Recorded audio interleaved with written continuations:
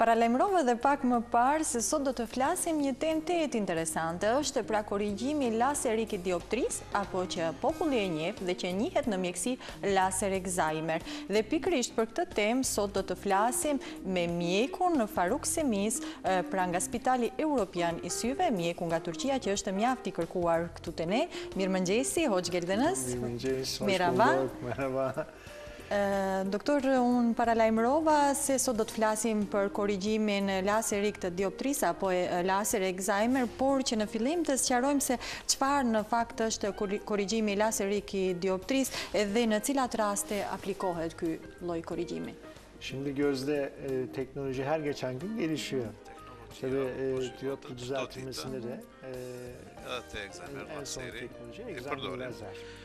Excimer laseri. Në fillim duhet me ba shpjegu çka është Excimer laseri. Excimer laseri është intervenim me laser në pjesën e kornesë përparshëm edhe ndryshime formës së kornesë. Këto intervenime bohet te pacienta çka kanë miopi, hipermetropi, astigmatizëm, edhe te pacientat që i kanë të dy diagnozat. Për ato kur na vin pacientat shumë shpesh po vetin, a kanë mundësi me bë operimin ose nuk mundët edhe me rëndësi tëritë po dojnë me i hek syzat, me jetu pa syza. Ni tëritë kur çohen në mëngjes ato, nuk preferojnë me i përdor syzat. Për ato, Te spitali Europian Eye Hospital me përdorimin e teknologjisë më të lartë japim shërbime pacientëve. Për me e bo Excimer laserin, medoemos duhet me i bo ekzaminimet para operimit, që për me u konstatu cili pacient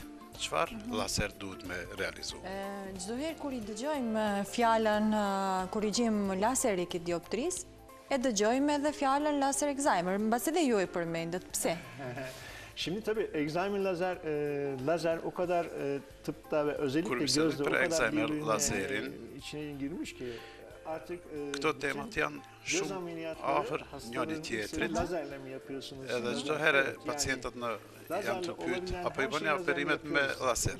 Vërtet është, ne krejt intervenimet i bëjmë me laser, shumicën intervenimet e bëjmë me laser. bir bıçak vurma, dikiş dikme olmadığı için intervenimi me laser do të thotë se nuk ka intervenim me pre me kep. Ameliyat sonrası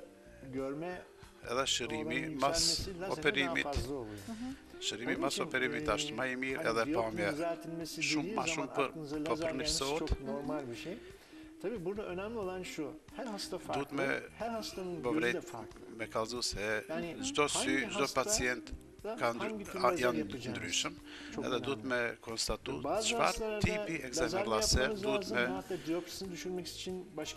me realizu te pacientat a kemi nevojë për Excimer laser ose për naj intervenim kirurgjik tjetër për ato vendimi në lidhje me operimin ka rëndësi të madhe Duhet me i vlerësu me plan me program çfarë janë pritjet pacientit, çfarë janë pritjet, pritjet mjekut.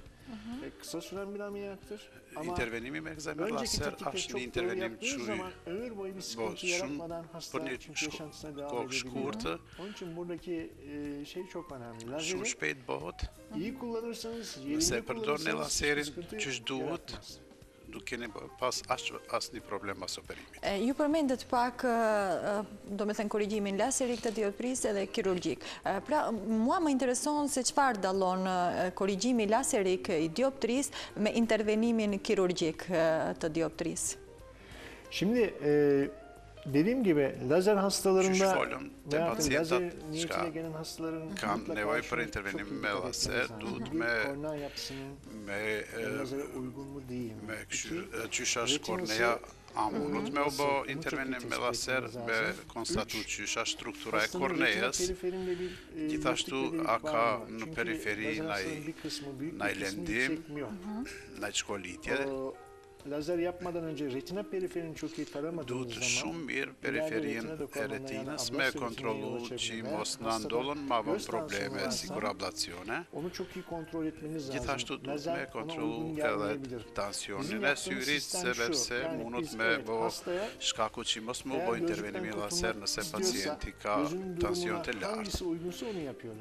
Ne i përdorim metodat që çka përshtatin pacientit, që përshtatin syrit.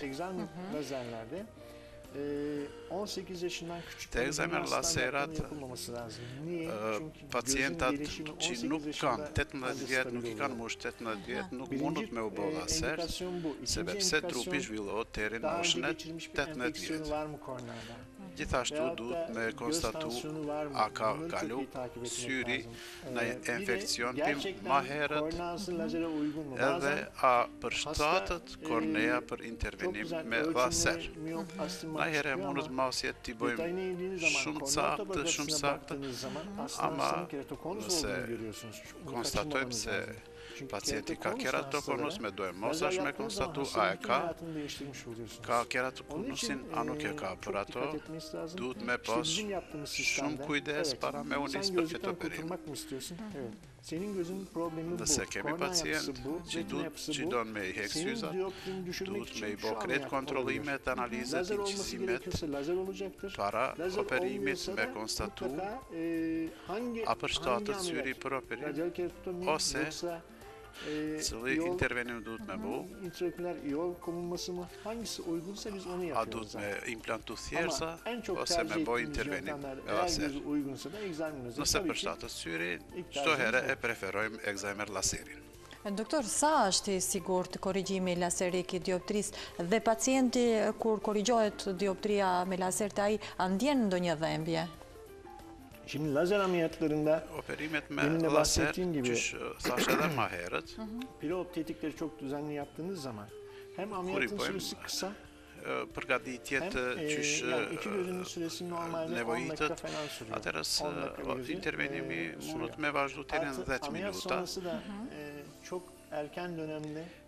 Mas operimit, stabilizimi pacientit asht shumë shkurt, pacienti pi një ditë mas operimit pamjen e kanë normal, ne si spitali Europian,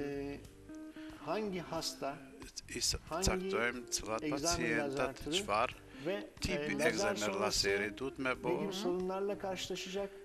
Duhet me parashiku a ka mundësi me pas do komplikime mas operimit edhe duhet me i parandalu këto komplikimet. Duhet me konstatu a janë hipermetropi këta pacientat, a mundët me u përsërit nevoja për operim edhe nat drejtim me i bo plan edhe programet për intervenim. Tu i përdor teknologjitë ma të moderne, ma të sofistikuar, i japim shërbimet ma të mira. Doktor, ajo që dua në fakt të them është se në botë korrigjimi laserik i syve është tejet në trend, posaçërisht tek të rinjtë, ju edhe ju përmendët, por si qëndron puna këtu në Maqedoni. Pra në spitalin europian të syve, këtë shërbim e kërkojnë më shumë të rinjtë, apo këtu nuk ka dallim ndonjë moshë?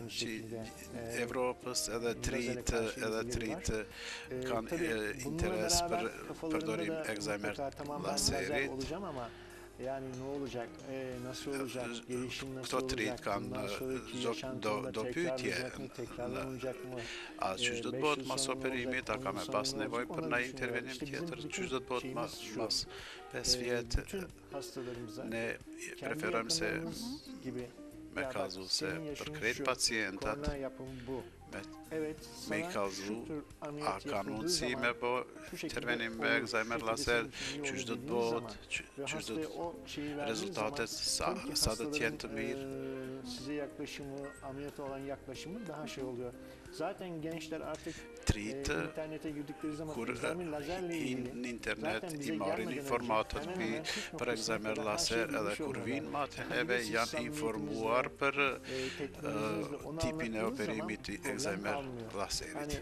Edhe ne, kur shpjegojmë qysh do të bohet, si do të realizohet, pastaj ma nuk kemi asçfarë problem. Se përdorim laserin përshtatshëm për pacientin, atëherës nuk kemi asçfarë probleme. pacientat pi Maqedonisë dhe pi regjionit, niveli edukimit pacientave me rëndësi edukimi i tyre është në nivel të shumë nivel të lartë, shumë mirë e përdorin internetin dhe i marrin informatat për këto lloje sëmundjeve. E neve kur e përdorim Këtë teknologji çka e kemi n'dorë, atëherës nuk kemi asçfarë probleme. Mbase ajo, tashti shikuesit që janë duke na përcjellur dhe i përkujtoj edhe njëherë se po zhvillojmë bisedën mbi korrigjimin laserik të dioptrisë, apo që ndryshe njihet si laser ekzajmer dhe në studion kemi, në studion tonë kemi mjekun nga Turqia, respektivisht nga Spitali Europian i Syve Faruk Semiz, Ajo që ndoshta ju intereson shikuesve, doktor, është se sa zgjat procedura, vetë procedura e korrigjimit laserik të dioptrisë, pra pasi që të vijnë në spitalin e juaj pacientët, në Spitalin Europian të Syve dhe ata a qëndrojnë në spital ndonjë periudhë. Şimdi, lazer, ekzajmer lazer as... Ekzajmer laseri, pacientat që kanë nevojë për ekzajmer laser, është mosha mas 18 vjetë, ato mundët me e bo këtë intervenim,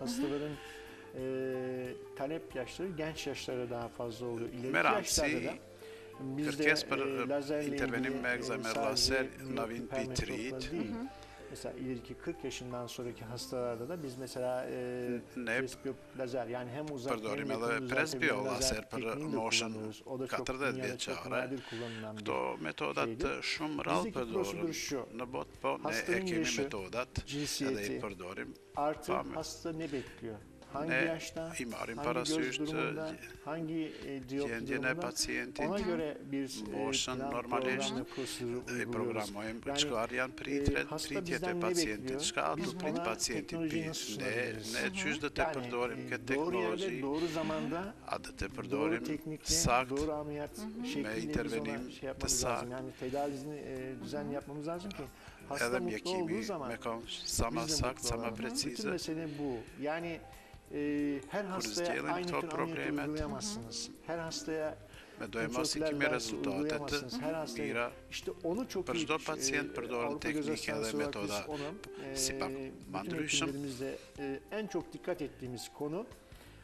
Ne si ekipa të Spitalit Evropian japim shumë rëndësi për përgatitje pacientit për intervenim, minimum 3-4 doktora e kontrollojnë doktorin edhe caktojmë a është mosha a është për 20 deri në 30 vjeç ose për 30 deri në 40 vjeçar edhe mbas moshës e përgatitim edhe programin edhe planin për intervenim.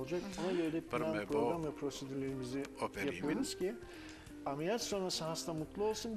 Edhe qëllimi jonë është kënaqësia e pacientit mas operimit. Kur i shiqojmë pacientat se janë kënaqë prej rezultatet operimit edhe ne jemi kënaqë gjithashtu.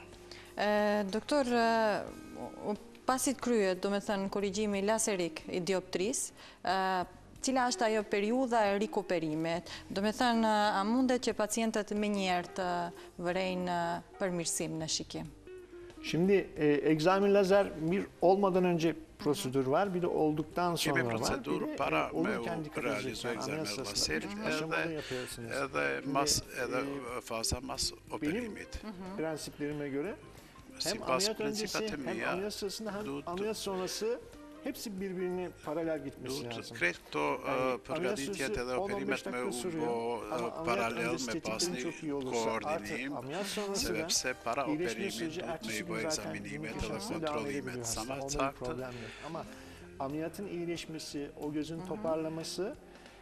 Shërimi, shërimi i syrit nganjëherë mundet me vazhdu, një muj, po te do raste mundet edhe pak ma gjatë me vazhdu periodi i shërimit.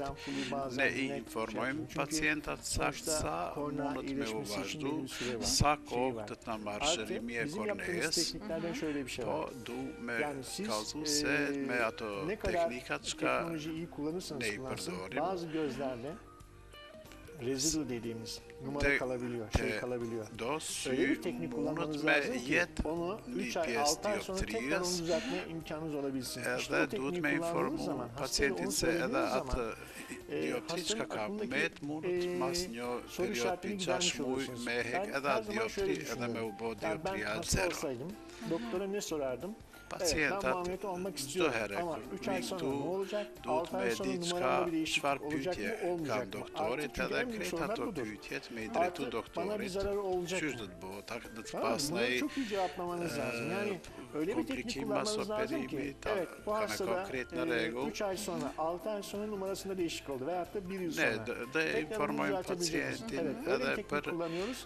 dioptrinë edhe për teknikat edhe do të informojmë se krejt këto intervenimet i bëjmë me sukses. Yok. Ama şöyle bir teknik. Nuk ka, në botë nuk ka teknika që i garanton se do të bohet dioptria se do të bohet zero, po ne qasi, zhvillojmë qasi metoda se këto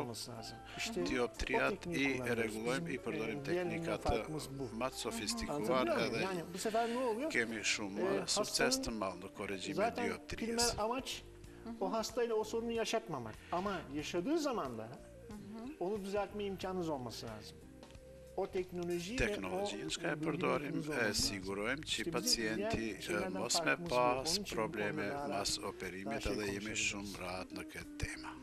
Doktor, në cilat raste, pra në cilat raste nuk lejohet në fakt korrigjimi me laser i dioptrisë?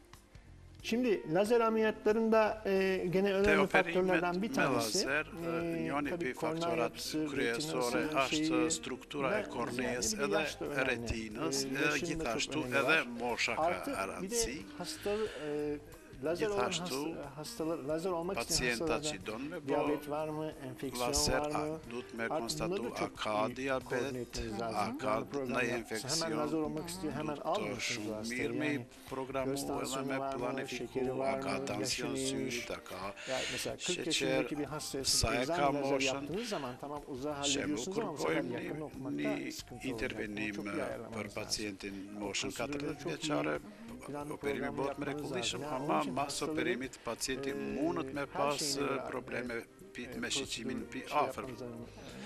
Për ato, krejt ato përgatitjet i duhet me i bo. Sa ma saktë me caktu moshën, shembul,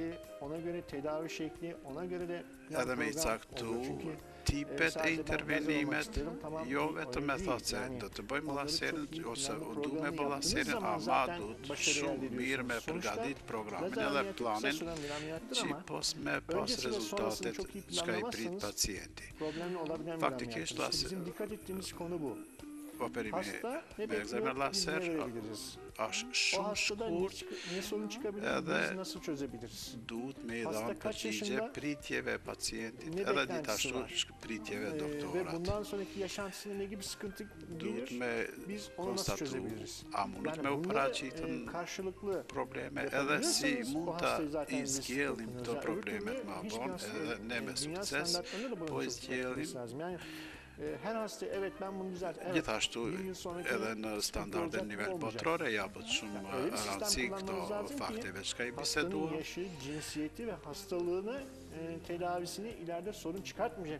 Edhe duhet me përdor një sistem që nuk do të na dhanë mundësi për paraqitje problemeve mas operimit.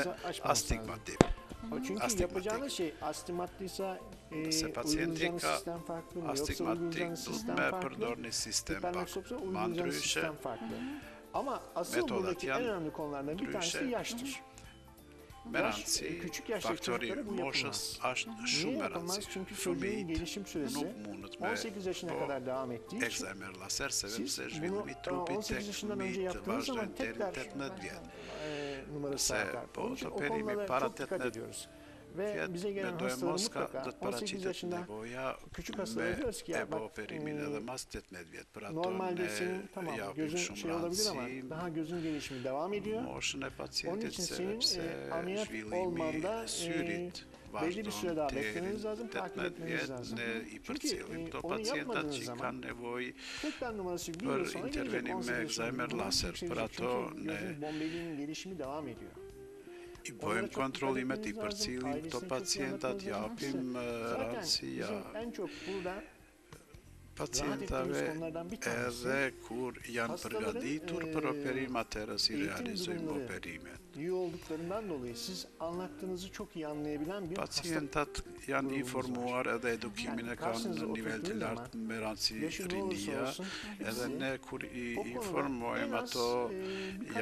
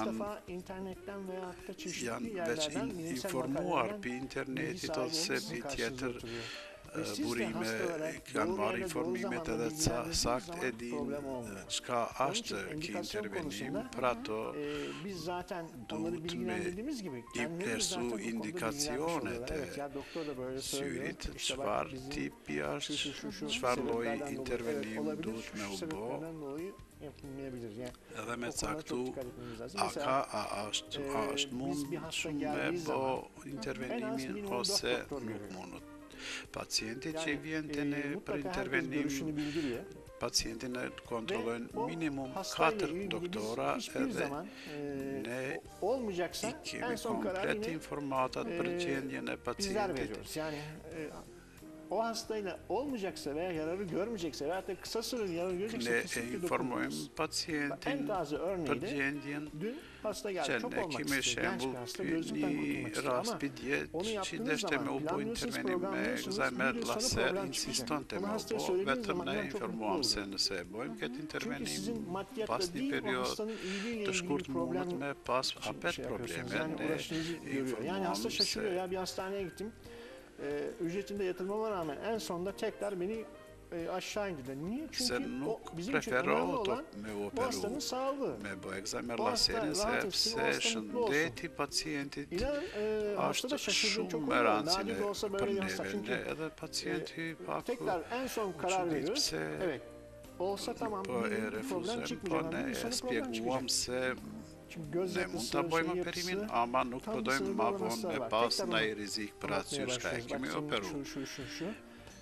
Për ato i japim informata komplete edhe preferojmë cilat metodat janë ma përshtatshëm për intervenim te pacienti. Hem tekniğinizi hem şeyinize hakim olduğunuz için daha rahat hastayla diyalog kurabiliyorsunuz. Doktor, para se të kalojmë në pyetjet e shikuesve, Do të kisha lutur për atë apelin, atë mesazhin për shikuesit që ndoshta janë duke planifikuar të bëjnë një korrigjim laserik të dioptrisë, apo dhe për ata që e kanë bërë tani më korrigjimin laserik të dioptrisë. Pra një mesazh, një apel për shikuesit. Şimdi e, hastalara şunu söylemek isterim. Mhm. Yani e, me kalzu pacientave se pa me marrë parasysh dioptrinë e syzave mund me konë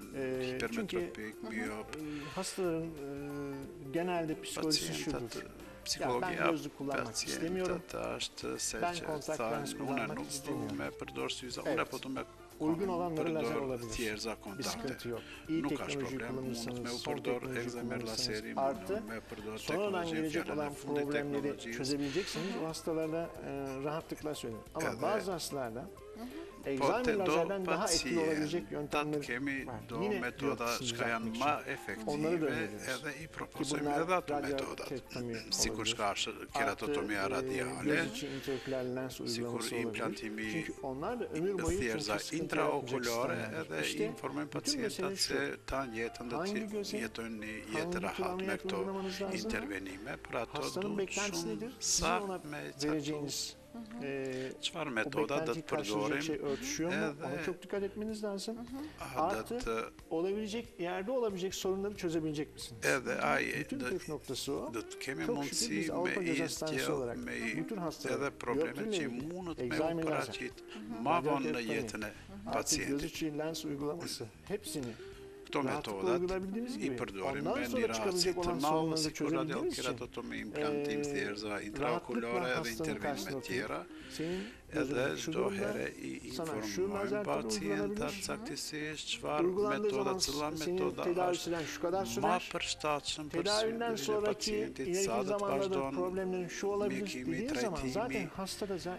edhe atëherë pacienti po informohet komplet edhe informatat çka i kapi ma herët edhe vendoset a të bëhet operimi edhe na e po e planifikojmë operimin.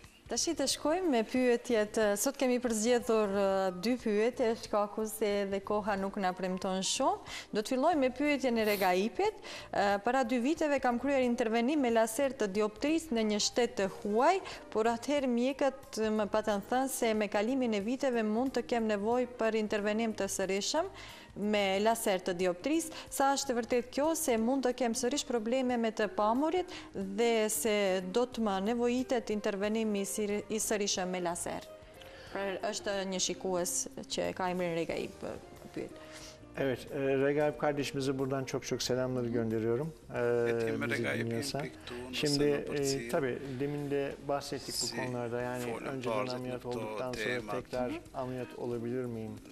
Nëse bëhet një herë operimi, a ka mundësi me u bo edhe një herë, po ne i kemi metodat, mundet përsëri, mundet apet me u intervenu te flepi e syrit, te kornea përparme të syrit, nëse kornea përshtatet për intervenim, ne i përdorim procedurat e nevojshme, normalisht nëse ka nevojë i përdorim ato procedurat, përsëri e bëjmë orpskenin,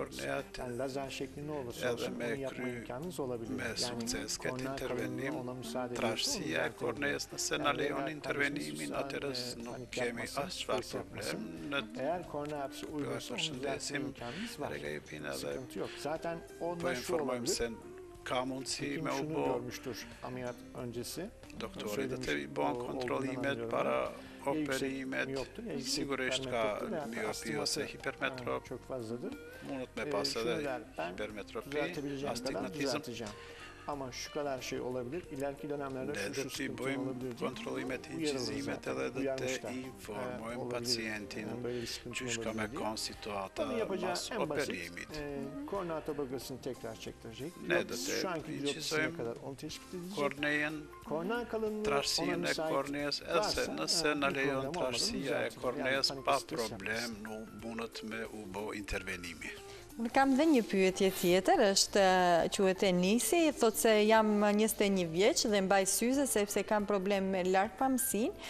Mjekët më kanë rekomanduar se mund të kryej një korrigjim laserik të dioptrisë dhe se pastaj s'do të kem nevojë për mbajtjen e syzeve. Sa është e vërtetë kjo?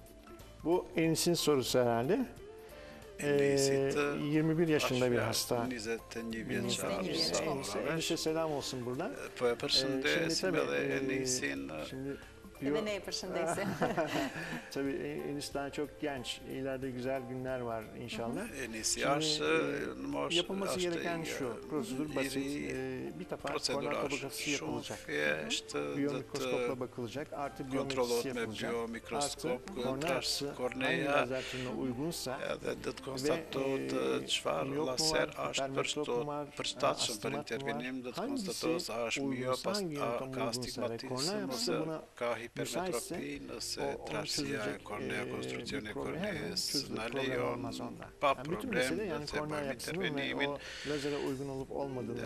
domethënë se konstatimi i trashësisë kornesë është me rëndësi të madhe. Doktor shumë faleminderit që ishit pjesë e programit mëngjesit do takohemi me juve javën e ardhshme të premten e ardhshme sepse unë përsërita se çdo të premte ia kemi përkushtuar sytë syrit, në fakt syve ua kemi përkushtuar çdo të premte dhe çdo të premte do të kemi një të ftuar prezent nga spitali juaj Europian i syve. Mm.